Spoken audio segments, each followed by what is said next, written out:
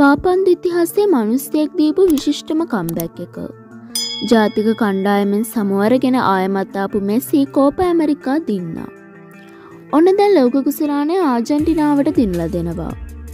මේ ලියනල් මෙසේ ලෝකකුසලානයක් ක්‍රීඩා කරපු පස්සෙ නිසා අවසාන අවස්ථාව. පාපන්දු ලෝකයේ අමරණීය චරිතයක් වන මෙසීගේ ක්‍රීඩා ජීවිතයට තිබෙන ලොකුමාඩුවක් තමයි මේක. අවස්ථානයේ හීනේ හැබෑ වෙනවා.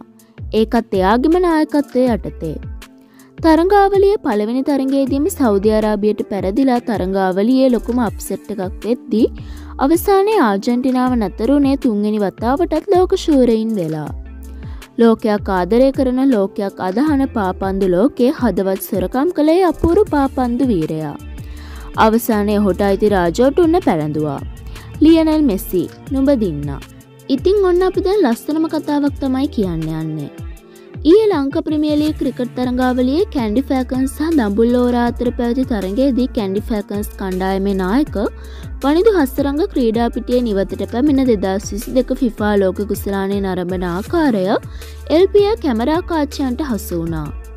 ඉතින් වානයෝ අපිටත් මෙන්න මේ වගේ ලෝක කුසලාන සතුටක් අරංගෙන එක වැඩි ඇත්තක නෙවෙයි නේද. ක්‍රිකට් ලෝකයේ නවතම ක්‍රිකට් තොරතුරු දැනගන්න. පහල තියෙන රතුපාට සබස්ක්‍රයිබ් බට්න එක සහ පෙල්ලයිකන්න එක ටච් කරලා අපේ චනල එකත් එක්ක එකතුවෙන්ඩ යළිත් ඉක්මනින් වීඩියෝ එකකින් හමුවමු ඔබට ක්‍රඩාශීලේ සුබ දවසක්.